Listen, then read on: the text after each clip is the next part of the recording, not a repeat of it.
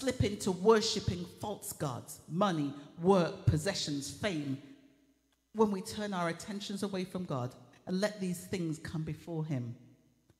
Anytime we give anyone or anything the glory and honor that should be given to God, we're in danger of breaking God's word, first commandment, when we love and obey God and God alone, because He promises that if we do so, He will be our God and we will be His people. Amen?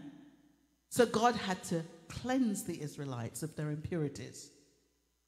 And some of those things that we, um, when you think about the impurities, you think, well, you brought you out, He's feeding you on manna, so you're getting good food inside of you, but you still got some mess on you.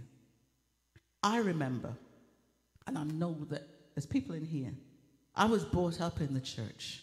My mother was a preacher. My grandmother was a preacher. My uncles were preachers. But there came a time when I decided that I wanted to rebel. So I'd be at the club on a Friday night, Saturday night, sometimes Monday night and Tuesday. Listen, I saved, but I was not always that way. And the fact is that we need to be acknowledged that that's where we were, we're coming from. I was not born in Holy Ghost water and kept all the way all my life. I messed up and I had to come back to God. But let me tell you something. I'd be in the club on a Friday night, sometimes on a Saturday night until 2, 3 in the morning. But because I was brought up in church, Sunday morning I'd be putting on my clothes and coming to church, walking in.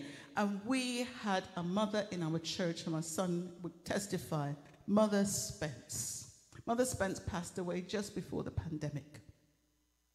Mother Spence, every day, Mother Spence used to say, I am working my way. She'd say, I'm working for my crown. I'm going to glory. But Mother, you'd come in the church, and Mother Spence would say, Gracie, come here. You understand? Because no matter how much I washed up, cleaned up, put on hat, suit, good shoes, walk in church looking, looking sanctified, there was an eye that could see right inside me and say, Get to the altar. You understand? Mother Spence. And if Mother Spence wasn't there, there were a few others that would do the same thing. The same way the children of Israel had been messed up, they had been tainted by the Egyptian uh, environment. They'd been in the mess, they'd been in the water if the Egyptians. And so when they came out, God had to say, clean up. Yeah? You might not be praying to those gods, but you still got those gods inside your heart. You still got the gods of gold and jewelry and money and all kinds of things. The lust in your heart is still there. So we need to clean up. Like the prodigal son, if you remember, we're going jumping into the New Testament. But the prodigal son was out there mixing with pigs, unclean things. When he came back home, the father was waiting for him, just like God waits for us. But when he came home, what did he do? Wash him up, put on a new coat on him, dress him in, clothe him in righteousness, and then you can come close. God didn't say, stay away from me. God said, clean him up, give him a new coat, give him, that's how God is with us. We come boldly before the throne of grace with repentant hearts and watch God work it out in our hearts. But we had to be repentant. So when you return to God, we need to be purified. When I think back and I, when I thought, when I was when I was thinking about ministering today, you know what came to my heart? Some of the songs that I used to listen to. Now I'm going to tell you this, but when you hear it, just switch off and listen to what I'm going to say afterwards. There was a song that my husband and I used to dance to called "Stealing Love on the Side," and we would be in the club dancing to this. And even the last full conversation I had with him before he passed away we were talking about, um, I was talking about it because he called me that morning, that Friday morning, and I had been listening to Omega. And what I was listening to was Carlene Davis singing Praising God all the time. And I said to him, You know something? This is the most appropriate time for you to call because there is this song that has just come on. And I told him, He said, I haven't heard it. And I sent it to him. But somehow or other, stealing love all on the side became praising God all the time. So, what used to trigger one response now triggers something else that is praise unto Almighty God. We need to cleanse, purify even that which we listen to. And I thank God for Carlene Davis because that was one of my favorite songs. And it is now one of my favorite songs because I can praise God to it and not go back into the old ways, but lift up a, a, a hand of praise and a voice of glory unto Almighty God. Do you understand what I'm saying this morning? Amen. So I'm thanking and that's an opportunity for a praise break right there because God gives us the opportunity to turn what seems like darkness into light. Amen? Amen. God speaks many ways to the children of men by conscience, by providence, by his voice. And we need to take note of every way that God speaks to us. Well, he might speak to Evangelist Natalie, he might not speak to me in the same way, Evangelist Natalie. I have a friend that constant when she got saved, she said, "You shouldn't be wearing lipstick. You shouldn't be wearing makeup. You shouldn't be wearing this. You shouldn't be wearing that." And I said, "God didn't talk to me about those things. No, I don't really kind of. I'm not really kind of. But I was never somebody that put on a lot of makeup and all of those things. Whereas Barbara, Barbara used to have six, seven, eight chains. She has all like eight nose on every side of her ear. The, the jewelry, the makeup, and all the rest of it. And I said, God is speaking to you because those things were your gods when you were in the world. So God might not speak to me about those because they were never important to me. So each of us needs to work out our own salvation with fear and trembling. We need to ask God, God, what is it that you want me to do? You understand? There are sometimes I will get dressed in the morning and the Lord will say, put a hat on. I put it on. There's times that I get dressed in the morning and God says, uh uh-uh, uh, do not put that on. You have to be attuned to the voice of the Lord. Because believe me, He will lead you, guide you, and direct you. He speaks to us in many ways by conscience, by providence, by voice, and we need to listen and be attuned to the voice of God. Amen? So, as He spoke the Ten Commandments, God speaks now. Excuse me, please. God had given the law before to man, but it had been written in their hearts. And sin so defaced it that it was necessary to revive the knowledge of it. So here comes God to reiterate that which he had taught. The law is spiritual and takes knowledge of the secret thoughts desires, and dispositions of our hearts. The law is spiritual, it takes notice of the heart. You understand? Man may make laws and we obey the laws. Man doesn't make laws that's about the contents of our heart. And so we will do things, and it looks as if we're doing good, but our intentions are not godly. They're not worthy. Amen? God notes the contents of our heart. And its greatest demand from the commandments of God is love, which without outward obedience is mere hypocrisy. It requires us to operate in love, to walk in love, to be unfailing and constant in our obedience of the law of God. Amen? Amen. So it says, Whosoever shall keep the law and yet offend in one point is guilty of all. Thank you, Daniel. God bless you. You just open it for me.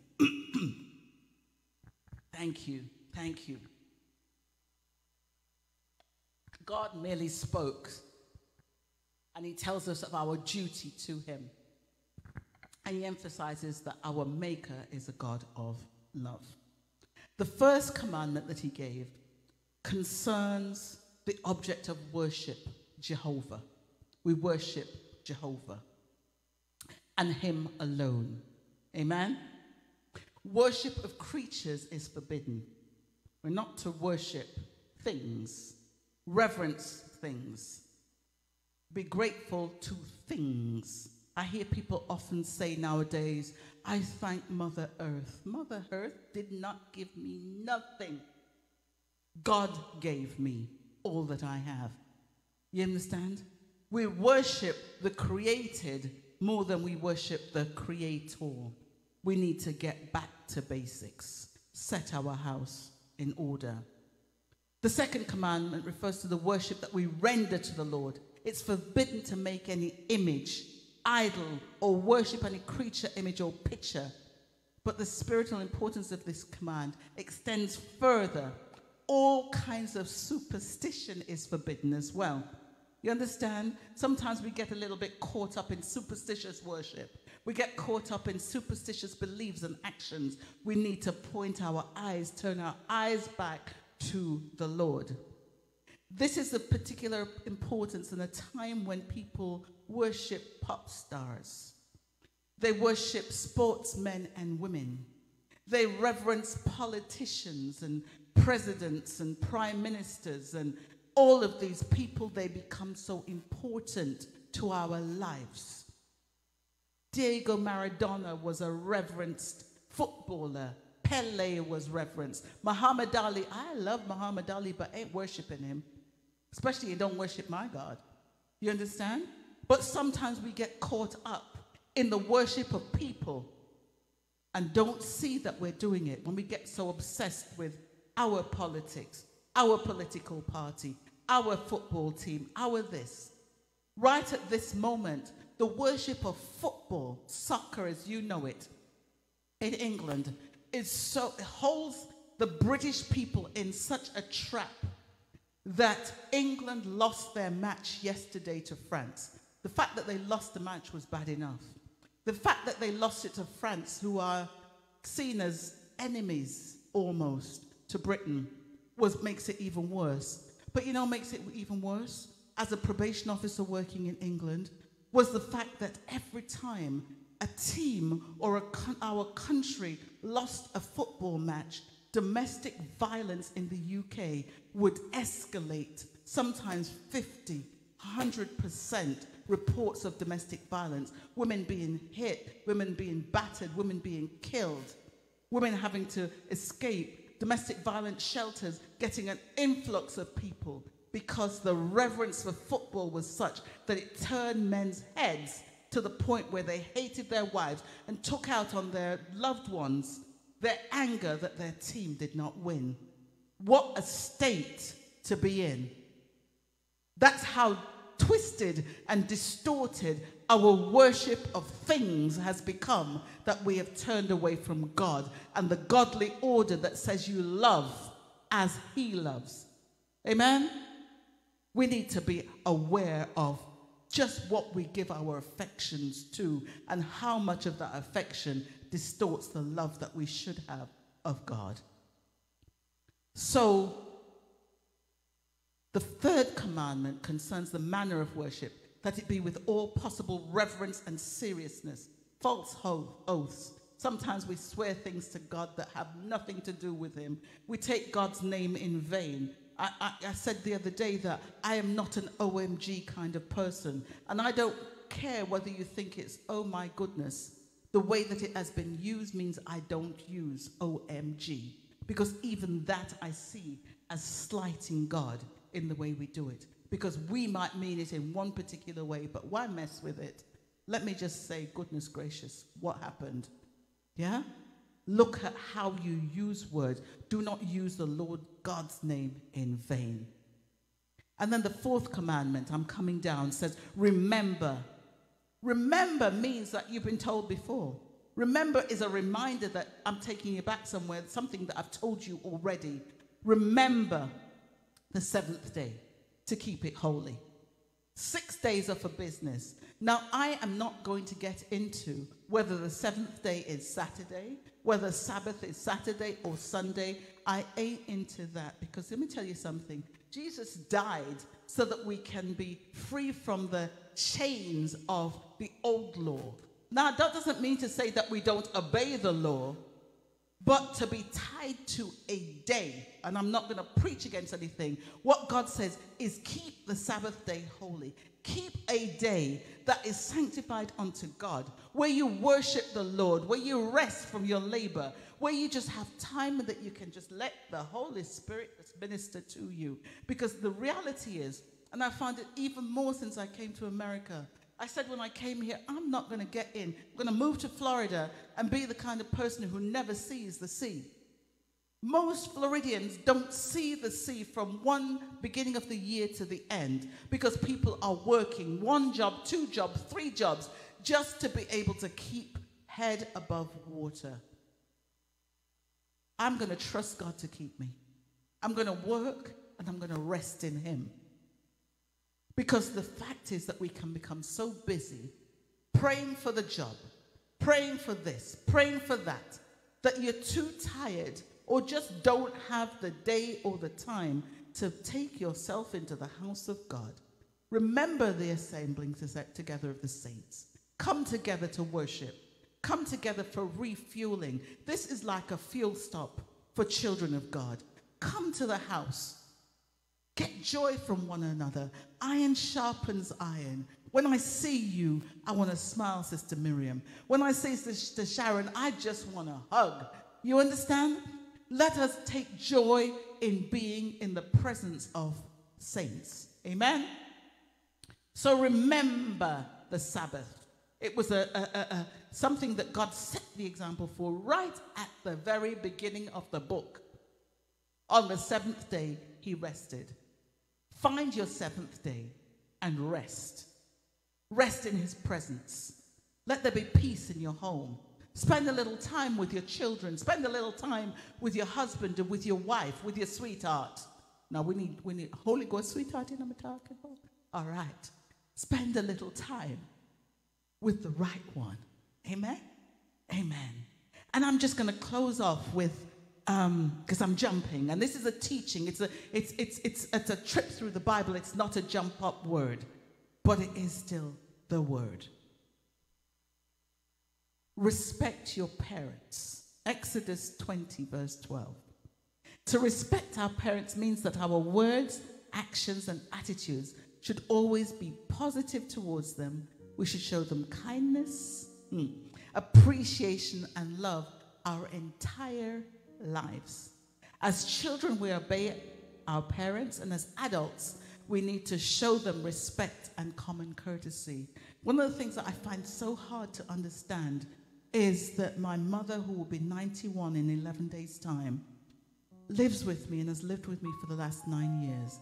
And people constantly comment about, oh, you know, I love the way that you look after your mother. And isn't it wonderful? And I think, well, what is so strange about it? That's how I was raised. That's how we were taught.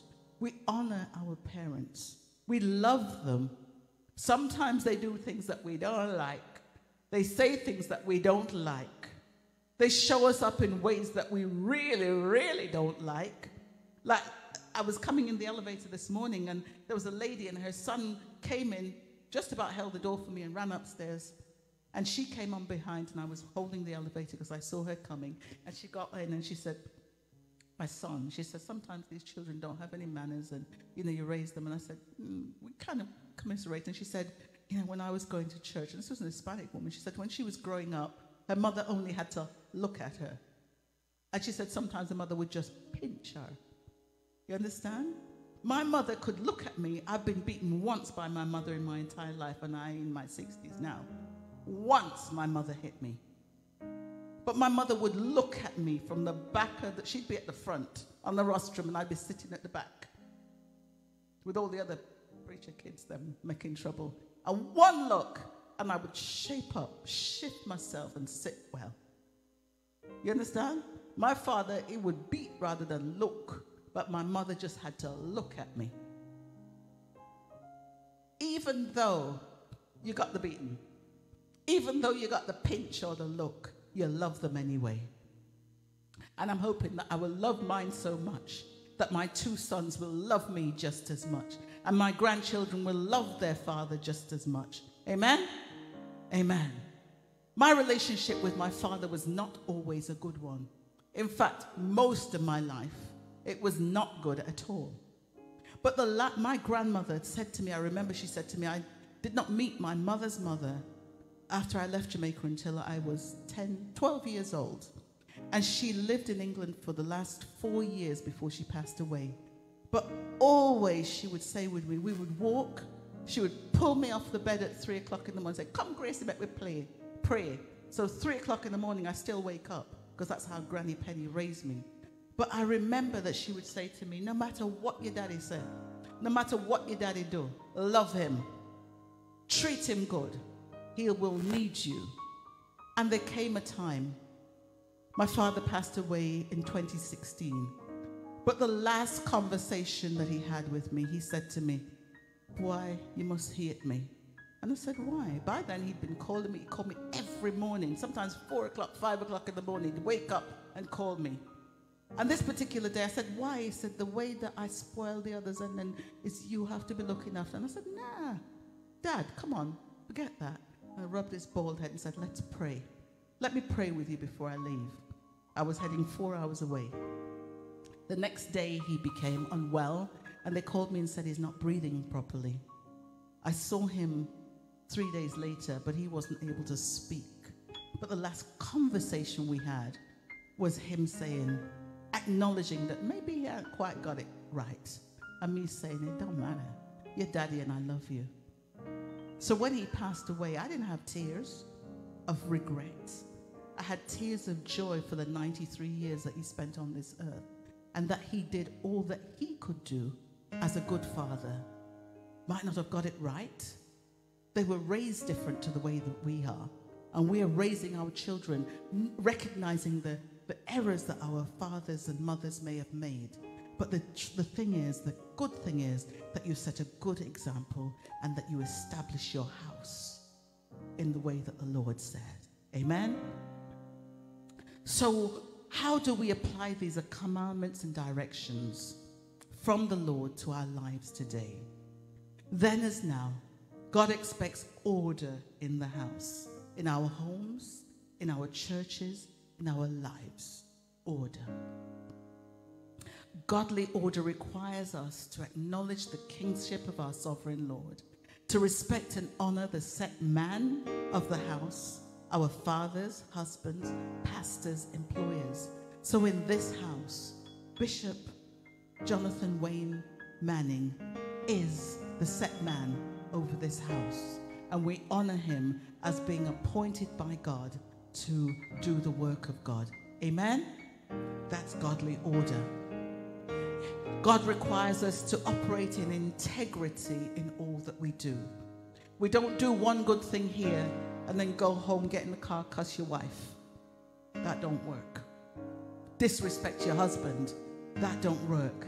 Don't come into the church and put on one show I was raised and I used to see people that wouldn't speak to each other. They'd come out two different cars, not speaking, mouth push up and all kinds of things. Get in church, they wouldn't sit together, but then come time for certain things and it would be deacon so and so and sister so and so standing together. The devil is a liar.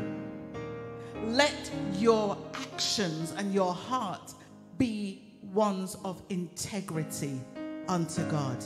Amen everything you do, do it with integrity. It means ensuring that we wash off every trace of Egypt in our hearts and in our lives. Our speech, our thoughts, our actions, and our worship must be right. It's a challenge, but it's not impossible. When we realize that the intention behind every Christ is love that God gave instructions to the Egyptians because he loved them and he wanted them to be close to him. He created us for his glory. He created us because he loved us and therefore he wants the very best from us. As parents, we set up our homes in such ways that we set godly order in the house. You can tell when daddy's away and children play, but you come back and there's order in the house. I remember my children used to go and play with certain friends, and the friends did not have order in their home. So when you came back, you had to re-establish these are the rules in this house. We had a sign on the wall, a picture on the wall. It said, Christ is the head of this house, the unseen guest at every meal, and the silent listener to every conversation. That is the sign over the door of Omega. That is the sign over our ministry, and that is the sign that we must have in our lives. Christ is the head of this house. Is the unseen guest at every meal that I partake of and the silent listener to every conversation and thought that I have. Amen? So it's not jump up time, it's organize ourselves. It's worship God time. Amen, folks? Amen? Amen. Let's give God the glory this morning. Let's give him the praise. And let us do unto him that which he deserves and desires. I give God praise for you this morning. And anyone that is listening this morning who feels as if they need to draw closer to God, that you don't need to do any great leaps or somersaults. All you have to say is, Father God, I have not always walked in the path that you've set for me. I surrender to you this morning.